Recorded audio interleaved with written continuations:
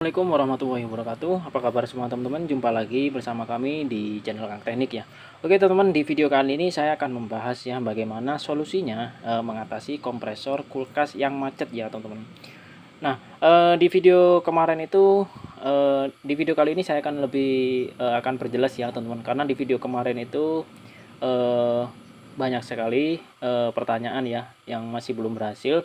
Terutama ada juga yang bertanya Bang saya sudah melakukan e, menggunakan tiga kabel seperti ini tapi masih belum berhasil. Gimana Bang solusinya? Dan ada juga yang bertanya Bang saya sudah e, sudah berhasil ya menggunakan e, tiga kabel seperti ini tapi ketika saya pasang relay dan juga overloadnya itu tidak mau berjalan ya macet lagi. Nah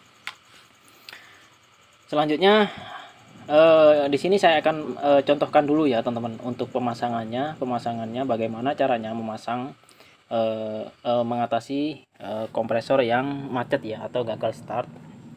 Nah di sini yang perlu kita siapkan teman-teman bisa siapkan kabel seperti ini ya. Nah kabel seperti ini yang ada sekunya. Nah seperti ini. Nah lalu eh, yang perlu teman-teman lakukan Nah, teman-teman bisa cek di bagian relay dan juga overloadnya. E, maksud saya e, dilepas ya, teman-teman. Relay dan overloadnya dilepas. Nah, e, selanjutnya yang perlu teman-teman lakukan, di sini saya akan perdekat dulu biar lebih kelihatan ya. Nah, udah kelihatan. Nah, selanjutnya yang perlu teman-teman lakukan, nah di sini kan ada tiga kabel seperti ini ya. Nah, ini yang kabel warna coklat saya pasang di kamennya di overloadnya. Jadi di ini di kabel overload saya pasang. Nah satu. Nah e, selanjutnya untuk yang warna biru ya yang warna biru. Nah ini warna biru. Saya pasang di runningnya. Nah untuk menentukan runningnya itu teman-teman bisa lihat ya di bagian relaynya. Apabila e, sekunya itu berada di bagian kanan Nah, teman-teman bisa pasang runningnya itu di bagian kanan ya. Begitupun sebaliknya, kalau misalkan runningnya itu ada di sebelah kiri, teman-teman bisa pasang di sebelah kiri ya. Nah, karena kebetulan di sini menggunakan relay yang kanan, nah kita pasang runningnya di sebelah kanan. Nah, runningnya itu warna biru ya, teman-teman. Nah, teman-teman harus menandai warna kabelnya ya. Nah, selanjutnya uh, untuk warna kuning dan hijaunya ini kita pasang di startingnya ya.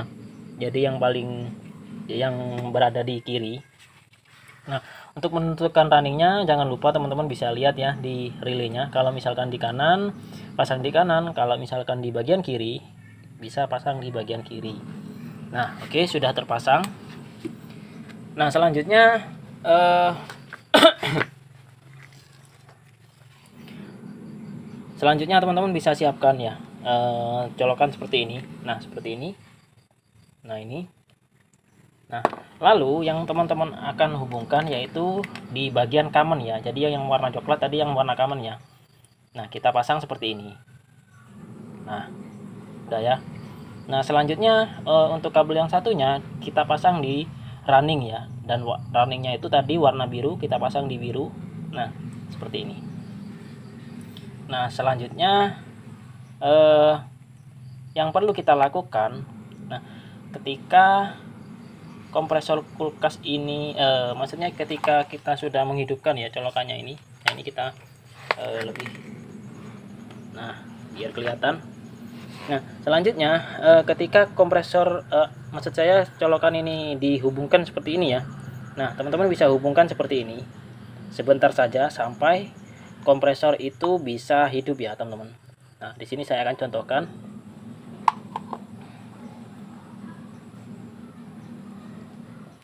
nah usahakan panjang ya biar nyampe kalau pas waktu ngubungin. Nah sekarang kita hidupkan. Nah kompresor akan hidup ya. Eh, kita eh, jumper sebentar saja. Kalau misalkan sudah hidup lalu kita pisahkan ya teman-teman. Jangan sampai terhubung lagi supaya tidak ada ampere yang tinggi ya. Nah di sini untuk kompresor sudah hidup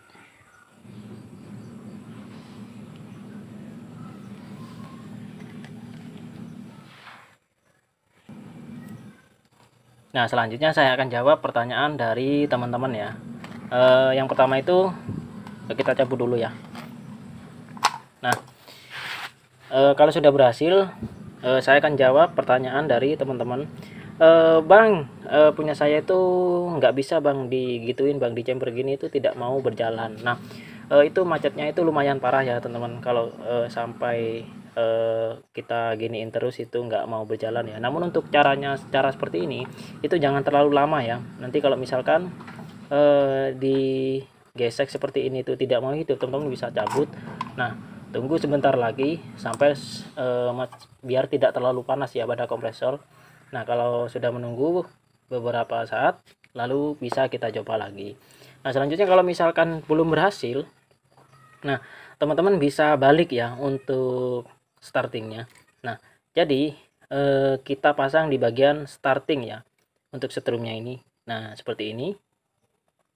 Nah cara ini jangan dilakukan terlalu lama ya teman-teman. Sebentar saja. Nah ini e, istilahnya itu putarannya itu kita e, balik ya. Jadi teman-teman bisa hubungkan lagi. Lalu yang ini kita hubungkan seperti ini ya. Nah e, ini enggak enggak ter, jangan terlalu lama. Sebentar saja. Nah kalau sudah e, selesai. Nah teman-teman tinggal kembalikan lagi seperti ini lalu e, kita coba lagi seperti yang awal ya nah se seperti ini nah seperti itu ya Nah selanjutnya eh, kalau masih belum berhasil itu artinya kompresor eh, yang teman-teman punya itu macet ya. Nah eh, yang perlu dilakukan yaitu teman-teman bisa bongkar ya di bagian ini menggunakan gerinda. Nanti bisa kita putar manual ya teman-teman. Di bagian eh, sekernya itu kita eh, putar manual. Bis, dibantu pakai tangan ya kalau masih ber, eh, belum berhasil. Nah selanjutnya eh, Bang saya sudah ngelakuin cara seperti itu tapi listrik di rumah itu jelek ya teman-teman. Eh, langsung jelek Bang. Nah solusinya. Nah memang kalau menggunakan cara seperti ini itu membutuhkan eh, daya yang cukup besar ya teman-teman karena ini eh, kita langsungkan seperti ini itu kalau misalkan kompresor macet dia itu ampernya itu sangat tinggi teman-teman. Makanya dia itu eh, kadang kalau listriknya itu nggak kuat bisa jelek ya. Nah eh, saran saya eh, teman-teman bisa cari listrik yang eh, agak kuat ya untuk melakukan hal yang seperti ini. Nah eh, untuk selanjutnya apalagi ya pertanyaannya? Eh, sudah berhasil ya dilakukan dengan cara seperti ini. Tapi pas waktu eh, dipasang relay atau overloadnya itu macet lagi bang. Nah gimana solusinya? Nah uh, kita akan pasang dulu ya relay dan overloadnya. Nah seperti ini ya.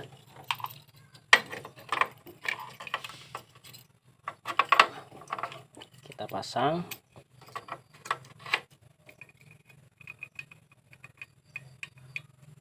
uh, untuk selanjutnya yang perlu teman-teman lakukan uh, ini sudah dipasang semua ya relaynya dan juga overloadnya. Nah teman-teman bisa langsung hidupkan ya.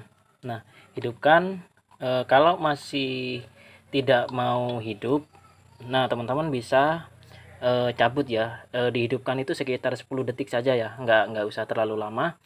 Lalu kalau misalkan tidak hidup nah, teman-teman bisa cabut nah eh, sudah berhasil menggunakan kabel tapi ketika dipasang relay dan overload masih eh, tidak mau jalan ya. Nah yang harus teman-teman lakukan teman-teman bisa pegang di bagian overload ini ya teman-teman. Nah eh, saya perdekat dulu. Nah yang harus teman-teman lakukan bisa pegang di bagian overload ini ya. Namun eh, cara megangnya itu nggak boleh eh, seterusnya itu dicolokin ya. Jadi dicabut dulu eh, colokannya. Lalu teman-teman bisa pegang di bagian overload. Nah kalau misalkan overload ini eh, tidak panas ya yang perlu teman-teman lakukan adalah teman-teman bisa cek ya di bagian overloadnya. Karena kemungkinan besar overloadnya itu rusak ya teman-teman.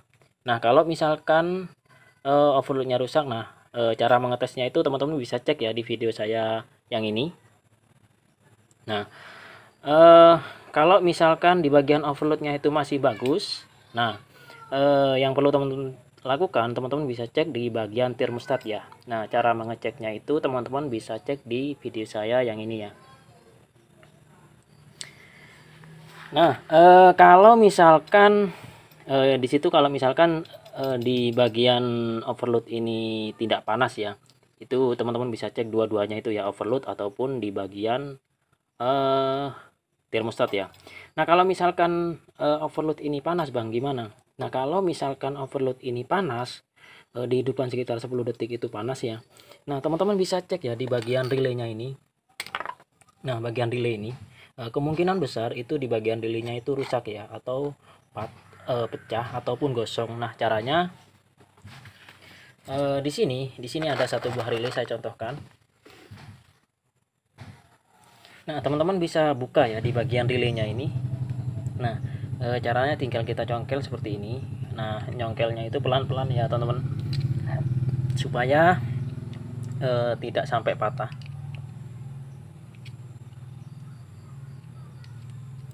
Nah kita akan lepas nah oke okay. Nah, di sini ada yang namanya lempengan ya atau bisa menamakan lempengan atau bisa menamakan juga bimetal ya. Ya, yang bulat ini. Nah, biasanya kalau misalkan relay itu rusak, yang bulat ini biasanya gosong ya, teman-teman. Ataupun pecah. Nah, kalau misalkan pecah ataupun gosong, nah teman-teman bisa ganti relaynya ya, teman-teman. Ataupun teman-teman kalau mempunyai cadangan relay yang lain dengan kaki yang beda, teman-teman bisa ambil ininya saja ya lempengannya ini saja lalu kita eh, teman-teman uh, bisa pasang ke relay ini ya. Nah jadi eh, teman-teman uh, bisa lakukan cara itu ya teman-teman. Nah oke teman-teman uh, mungkin itu saja ya video dari kami. Semoga terjawab. Dan juga semoga bermanfaat ya. Jangan lupa dukung channel terus channel kami dengan cara tekan tombol like nya dan juga subscribe nya ya. Assalamualaikum warahmatullahi wabarakatuh